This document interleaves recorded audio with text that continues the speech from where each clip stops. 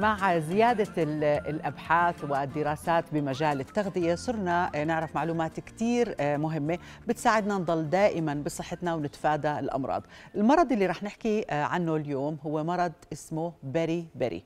رند الديسي اليوم رح تعرفنا عن هذا المرض. مين أكثر الناس عرضة أنهم يصابوا فيه؟ وما هي التغذية, التغذية العلاجية؟ صباح الخير رند صباح الورد رندا. حالك؟ تمام وأنت كيفك؟ تمام. اسم المرض غريب بيري بيري صحيح. so, إيش هو هذا المرض؟ أوكي. بشكل عام بيري بيري هو نوع من أنواع الأمراض اللي بيصيب الأشخاص اللي عندها نقص بفيتامين الثايمين اللي هو نحن بنسميه B 1 السبب الرئيسي اللي أنا حبيت أحكي فيه عن هذا الموضوع لأنه عم نشوف إنه في عندنا زيادات أكثر بالإصابات بمشاكل البري بيري وللأسف ما عم نعرف شو السبب الرئيسي. في بعض الحالات ممكن التغذية سوء التغذية أو في الأشخاص الأكثر عرضة للإصابة فيه وكمان ما عندي توعية بالطريقة الصحيحة. فهون دورنا إنه نحن نوعي الأشخاص إنه عن جد في بعض من الفيتامينات والمعادن إذا صار في عندي نقص فيهم ممكن تؤدي إلى مشاكل على المدى الطويل وعن جد تكون ذات خطورة على صحة الجسم. شو أعراضه؟ يعني كيف واحد يعرف إنه أنا عندي هذا المرض؟ أوكي. بشكل عام هو مثل ما حكينا هو نقص بفيتامين ال B 1 الثايمين وفي عندي نوعين من هذا المرض. في عندي شكلين من هذا المرض. في عندي أول شكل اللي هو يسمى ال wet beriberi وفي عندي ال dry beriberi. أوه. إذا بنحكي عن الشكل الأول ال wet beriberi فهو بصيب أو بيؤدي إلى مشاكل في عضلة القلب مع نقص الدائم من الثايمين ومشاكل في الدورة الدموية وعلى فكرة في بعض الحالات ممكن توصل لفشل في عضلة القلب. أما بالنسبة لل dry beriberi فهو يؤدي إلى مشاكل ولكن بتكون بالأعصاب والعضلات وفي بعض الحالات ممكن تؤدي إلى فشل في العضلات والشلل مم. عشان هيك ضروري جدا أنه نحن نركز على هذا المرض ونعرف مين هم الأشخاص الأكثر عرضة عشان نركز على التغذية العلاجية اللي بتلائم okay. أجسامهم تمام إذا مين هم الناس اللي معرضين يصابوا فيه الأكثر عرضة للمشاكل بنقص الثايمين هن اولا الأشخاص اللي عندهم إدمان على الكحول زيادة استهلاكنا للكحول بتؤدي إلى ضعف في تخزين الجسم للثايمين وضعف في امتصاصه. ثانيا الأشخاص اللي بيعانوا من فرط في نشاط الغدة الدرقية hyperthyroidism فالغدة الدرقية دائما نشطة أكثر من اللازم. المرأة الحامل اللي عندها استفراغ ولعية دائمة اللي نحن بنسميها ال hyperemesis gravidarum هي مش اللعية أول ثلاثة أشهر ولكن بيكون لعية واستفراغ دائم بيؤدي إلى تعب شديد وممكن إنه المرأة الحامل تضطر إنها تضلها بالمستشفى لحتى تعوض السوائل اللي عم تخسرهم وهون نحن بنسميها ال hyperemesis gravidarum فهاي الأشخ... هاي الفئة من السيدات الحوامل معرضين للبري بري بشكل كتير كبير لأنه بيخسروا عبر الاستفراغ واللعية الدائمه نسب كبيرة من الثايمين. في أشخاص في عندهم genetic predisposition أو بيلعب دور العامل الوراثي العامل الجيني في إنه يكون عندهم مشاكل البريبري. وأخيرا كمان لازم ننتبه على الأشخاص اللي بتعمل عمليات تحويل المسار أو عمليات ربط المعدة قص المعدة اللي بتؤدي إلى ضعف أو نقص في امتصاص الفيتامين B 1 فهون بيؤدي إلى مشاكل على المدى الطويل في نقص هذا الفيتامين اللي بيؤدي إلى مشاكل البريبري. فهون عندي خمس فئات رندا لازم نحن نهتم لهم.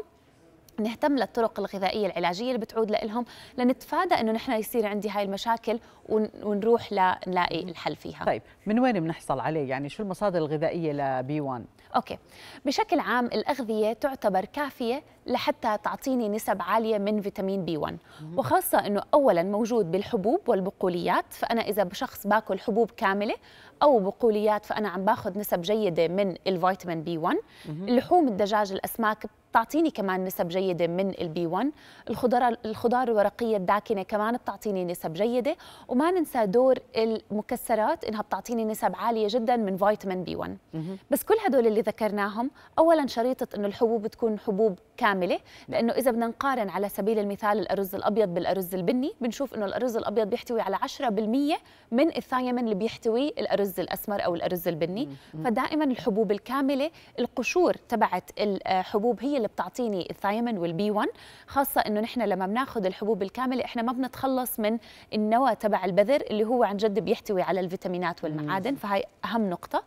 ثانيا لما بننتقل نحكي عن الدجاج اللحوم والأسماك عادة الأشخاص اللي بيعملوا عمليات تحويل المسار أو ربط المعدة قص المعدة أو المرأة الحامل بأول فترة نادرا ما بياخذوا نسب بروتين جيدة إما بسبب هاي العمليات فبيؤدي إلى صعب في صعوبة في هضم okay. البروتينات بأول فترة فبياخذوا بس clear liquid diet أو إنه كله سوائل والمرأة الحامل كمان بسبب الاستفراغ واللعية الدائمة مش رح تاخذهم هون بيجي دور التغذية العلاجية رندا. إذا أنا أحد الأشخاص اللي بعاني من هاي المشاكل الصحية أو أنا أحد الخمسة الأكثر عرضة بالإصابة بمشاكل الثايمين أو نقص ال B 1 فمن الضرورة إنه إذا غذائي ما كان كافي ألجأ إلى مكملات الغذاء لأنه إذا أنا ما أخذت هاي النسب اللي جسمي بيحتاجها ممكن تؤدي إلى مشاكل في عضلة القلب مشاكل في الدورة الدموية وأعراض مختلفة ممكن الشخص يشعر فيها.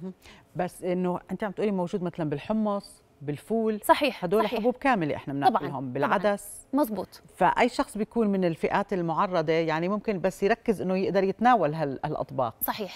مم. هلأ بشكل عام لازم إنه نحن نركز عليهم وإذا ما قدرنا المكملات الغذائية لازم تاخذ دور أساسي وخاصة لما بنحكي عن فرط في نشاط الغدة الدرقية okay. بالإضافة للمراه الحامل اللي عم بتعاني من الاستفراغ واللعي الدائمه هلأ في عندي أعراض مختلفة ممكن الشخص يشعر فيها وهاي الأعراض بتعطيني مؤشرات على وجود نقص في الثايمين أو ال B 1 أول شيء إذا نحن بدنا نحكي عن ال wet beriberi واللي هو بيأثر على عضلة القلب فأول عارض ممكن نشعر فيه اللي هو التعب الدائم عند يعني بذل أي مجهود بدني أو نشاط عند الأشخاص. هذا أول عارض ممكن أشعر فيه. بعدين ممكن يتقدم ليصير اختناق خلال ساعات النوم بحس الشخص إنه مش قادر يتنفس بالطريقة الطبيعية وهو نايم ممكن يفيق أكثر من مرة بسبب الاختناق. هذا كمان بيكون بسبب نقص البي 1 كمان شغلة كثير مهمة بصير في عندي انتفاخ في الأقدام. بنشوف إنه الأقدام بتحب السوائل بس هي مش سوائل. يعني أنا بشوف إنه الأقدام عندي منتفخة بس هو مش سوائل. هون بيكون في عندي نقص بال B 1 كمان لازم نركز على زيادة في عدد طرقات القلب. إذا الشخص عم بحس إنه زيادة في عدد نبضات القلب وطرقات القلب هون بيكون في عندي مشاكل في نقص الثايمين اللي عم بيأثر على عضلة القلب. أما ال dry beriberi واللي هو بيأثر على الأعصاب بشكل عام بيأثر على العضلات فهون الأشخاص ممكن يشعروا بأوجاع دائمة بالعضلات ممكن يشعروا بتشنجات شديدة بالعضلات. هذا الإشي ممكن يؤدي إنه الشخص يرفض إنه يتحرك أو يرفض إنه يبذل أي مشعول آه، أي مجهود بدني. وكمان والاهم إنه العارض اللي نحن بنشعر فيه كثير اللي هو التنميل في الإيدين والأقدام. فهون إذا كان في عندي تنميل بالأطراف بالإيدين والأقدام هون بيكون عندي عارض واضح إنه أنا عندي مشاكل بالبري مشاكل نقص الثايمين أو اللي هو فيتامين B 1 okay. بنقدر بس نعيد مين أكثر فئات معرضة آه، تصاب فيه؟ قلنا الناس الإدمان على الكحول. صحيح اولا. ثانيا المرأة الحامل اللي عندها يعني دائما آه، لعية واستفراغ بشكل مستمر وبتدوم خلال فترة الحمل كاملة. نحن بنسميها hyperemesis gravidarum بالإضافة للعامل الوراثي بيلعب دور مهم. الأشخاص اللي عندهم فرط في نشاط الغدة الدرقية كمان ممكن يكونوا أكثر عرضة للإصابة بنقص ال B 1 وأخيرا الأشخاص اللي بيلجأوا لعمليات تحويل المسار أو عمليات قص المعدة ربط المعدة لا خسارة الوزن. معلومات جدا مفيدة رند. شكرا. شكرا, شكرا. لك رندا.